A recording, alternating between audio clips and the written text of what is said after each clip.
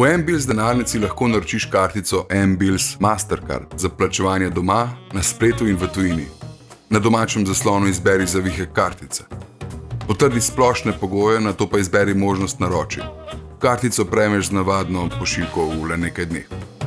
Pred prvo uporabo je potrebno kartico aktivirati. To storiš tako, da izbereš gumb Aktiviraj kartico in upišeš zadnje štiri številke kartice. S tem je tvoja kartica aktivirana. Kartico tudi upravljaš na telefonu.